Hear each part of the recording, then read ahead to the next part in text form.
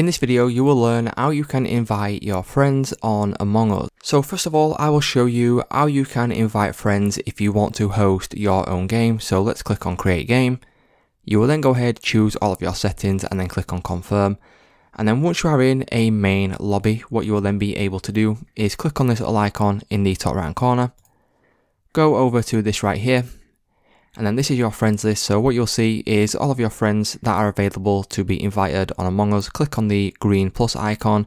And then what that will do is it will send an invite to that person and then they will then be able to accept it on their device.